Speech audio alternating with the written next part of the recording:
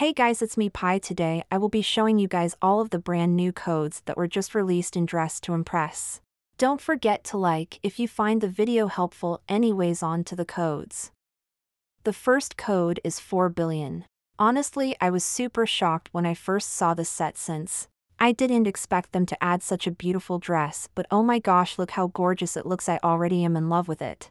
And it even has toggles to remove the layer from the skirt. The top also has the option to remove the sleeves, collar, or just simply one item. This is already my favorite items now on to the next code item. For the boots it's simply Megan Plays boots with no spaces. Take a look at these stunning boots. They just look so good and they have multiple fabric patterns that allows you to be more creative. These boots just look so good I can't wait to use them when the theme is cowboy. The last code for this update is B's code, remember when you're typing it, make sure your O is a zero.